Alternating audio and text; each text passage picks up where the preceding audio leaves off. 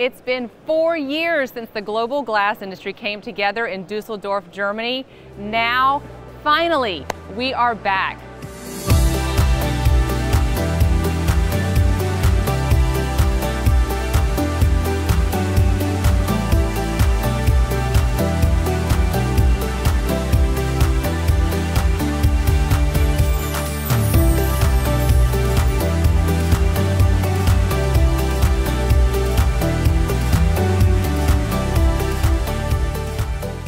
Rogers, and we're so excited to be here in the halls of Messe Dusseldorf.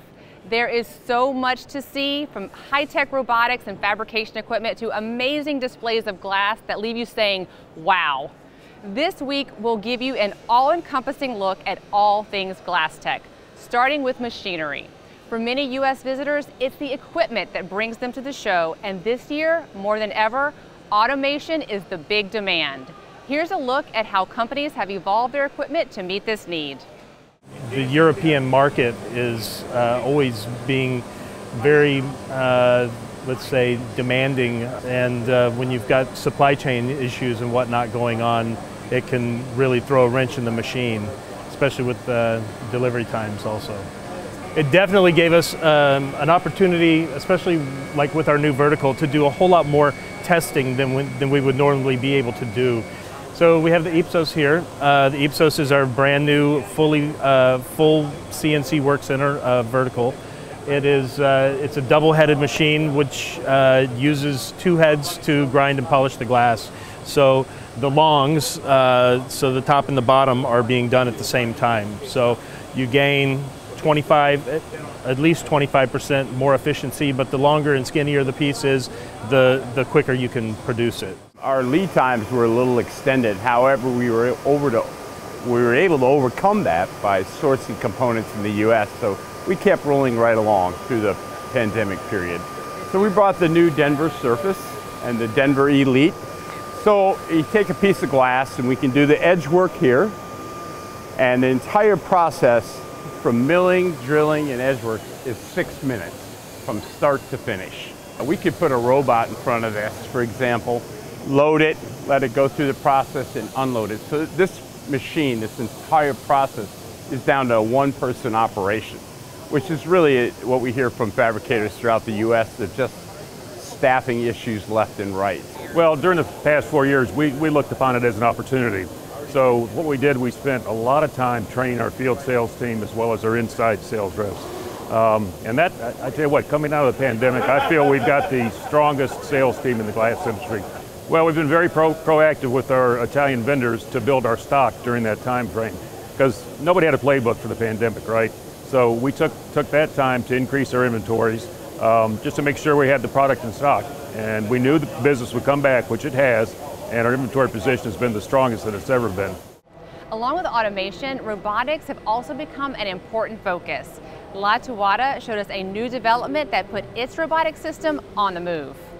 Yeah, it's been a four years since glasstec, and over that time, it's been a nice opportunity to come up with new designs, new software, uh, to be able to present to customers, make everything easier on them. This one here is a single 13 spindle machine with a, a robotic on a, the track that takes care of running all four sides of the glass uh, all by itself through barcode, uh, running at a very high speed to accommodate the, the meters that you need to get out of an everyday uh, procedure of production.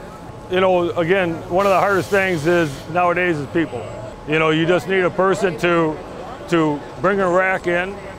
The robot runs all the glass by itself. When it comes down here for the washer, the operator actually has a little pager and he can be anywhere in the plant that he wants. It sends him notification that glass is coming out for him to unload and it's finished. He can put the glass in a machine and walk away.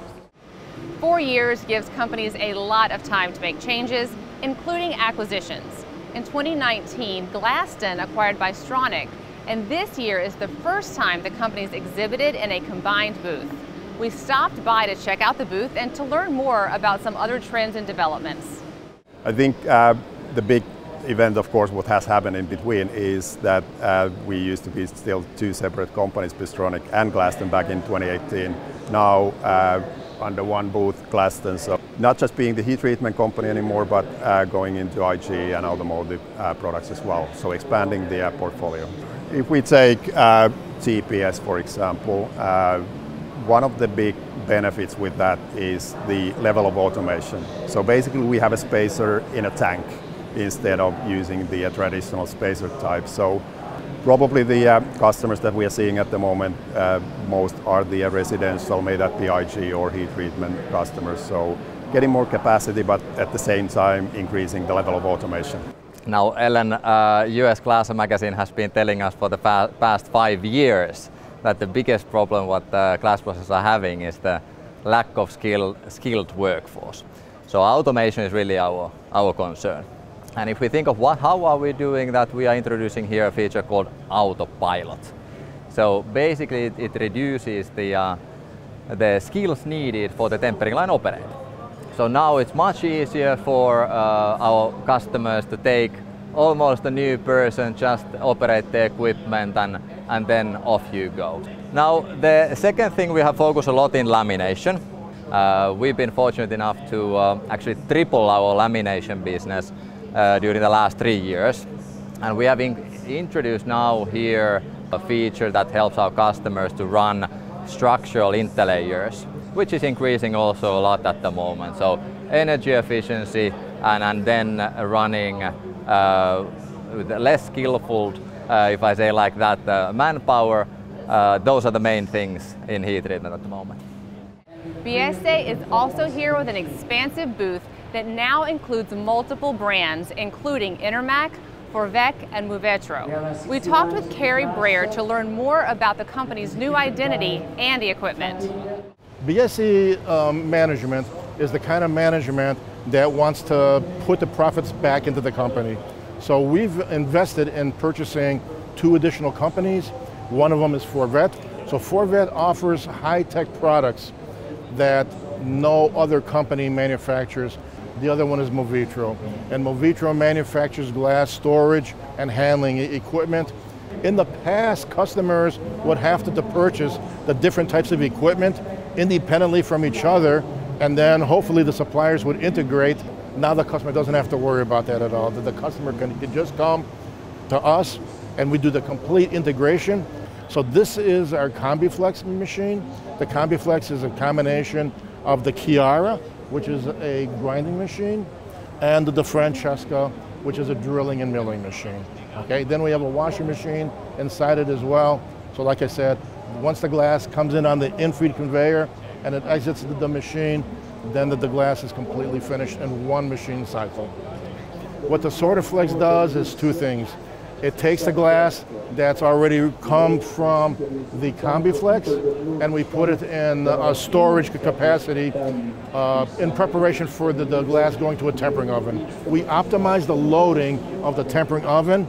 Now it's done by computer so that we achieve a much higher yield into the tempering oven furnace.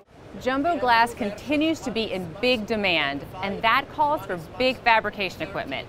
Mappi has developed its MTH furnace that allows fabricators to process increasingly larger sizes.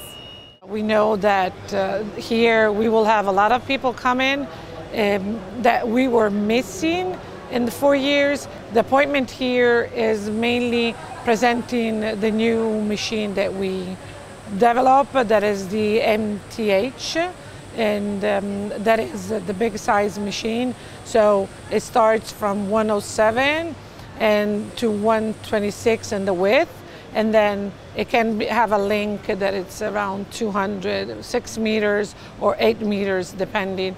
Because as always we follow the, the needs of our customers. So lately it seems that everyone is looking for bigger sizes. The MTH is an upgrade machine comparing to what we have with the same principle but we really can reach uh, uh, less power consumption.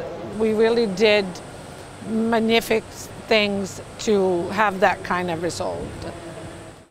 We have just begun to show you all things glasstec, from the machinery, the companies, and of course, the glass. Stay tuned to USGNN all this week and follow us on social media. If you're here, stop by and see us in Hall 13, stand E70, or Find us one night this week in the Altstadt. Thanks for watching.